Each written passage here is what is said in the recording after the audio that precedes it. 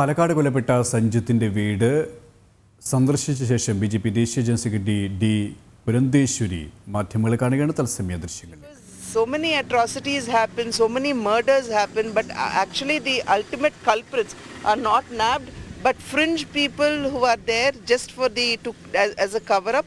They kind of like I said, they arrested the the driver. The what will the driver do? He will only carry out what the person, the brain behind tells him to do. So our demand is that yes, we stand by the um, Kerala BJP unit when they say they want a central investigation because unless there is a central investigation, will it not be unbiased? Because like I said, everybody knows that SDPI, which is an arm of PFI, supports uh, CPM. So uh, naturally justice will not be done to the victims at all. And look at, if you look at Sanjit's family, I would request the women of Kerala to think once again. Uh, she's so young. Uh, she has a 10-month-old baby. Now, who is going to support her? Well, she's she's an empowered woman who stands on, on, on her own feet.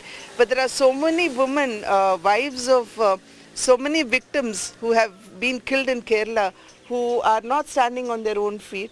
And uh, to kill a husband and for, to, to, for a wife to see her husband being killed in front of her own eyes is such a traumatic uh, uh, incident and, and, and it has a traumatic impact on, on the woman's psychology as well. So I think it's high time for the women of Kerala as well uh, to think how CPM is actually unleashing a terror, a, a, a terror kind of uh, uh, rule in the state of Kerala. All culprits in is uh, PFI workers.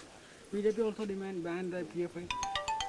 No, that see, we we are asking for an investigation now. Everything will have to come out, and then this it, it is definitely the central uh, leadership will take a call on what's going to happen.